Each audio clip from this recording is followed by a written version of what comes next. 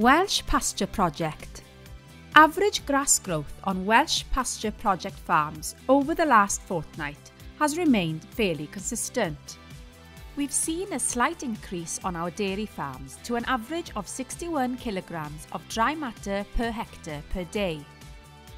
Whilst beef and sheep farms have recorded slightly below the last measurement to a daily figure of 36 kilograms of dry matter per hectare per day.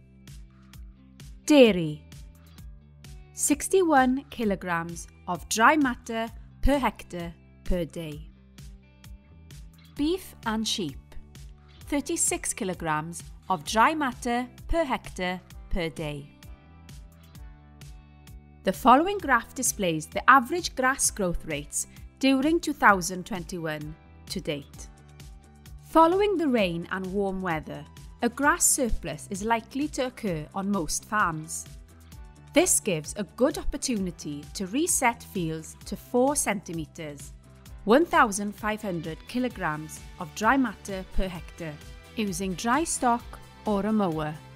If using stock, ensure to allocate an area they can graze to the target height in 2 to 5 days to avoid overgrazing, eating the regrowth. Wean at 90 to 100 days to allow you to prioritise lambs to the highest quality pasture. If pasture has lower than 20% clover content, there should be no need to apply artificial nitrogen fertiliser. It is likely surplus grass needs to be managed by removing an area out of the rotation for silage or standing hay if you expect moisture may be lacking in August, September. It is still too early to defer pasture for winter grazing. Wait until mid-August.